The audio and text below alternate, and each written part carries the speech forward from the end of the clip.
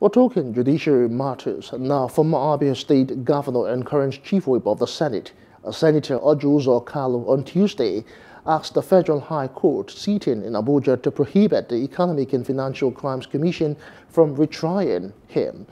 Kalu wants the courts to prohibit the anti-graft agency from retrying him on the same alleged money laundering charges the agency had tried him on, which he was eventually convicted and sentenced to prison for 12 years.